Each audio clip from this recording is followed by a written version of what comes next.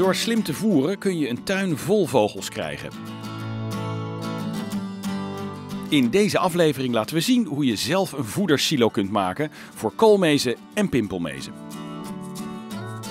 Je kan natuurlijk een voedersilo kopen, maar het is net zo leuk om er eentje zelf uh, te maken. En dat is eigenlijk heel eenvoudig.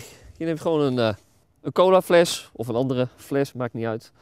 Um, wat je doet is dat je een aantal gaten erin maakt. Een kleine gat en aan de voorkant een iets groter gat. En het idee is dat je pollepel er doorheen stopt. En je kan het ook nog een lager niveautje doen.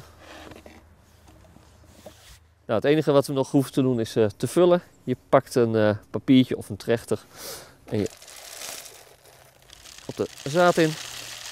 Het voer komt op de pollepel uh, te liggen. En vogels kunnen hier hun voedsel pakken.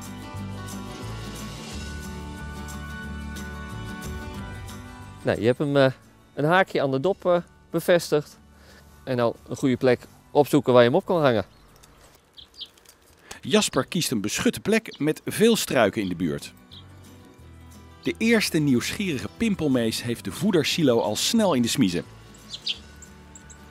Alleen nog even uitvogelen hoe het allemaal precies werkt. Ah, zo dus. Ook de zaadjes die vallen worden goed benut. Kijk voor meer informatie over slim vogels voeren op onze website.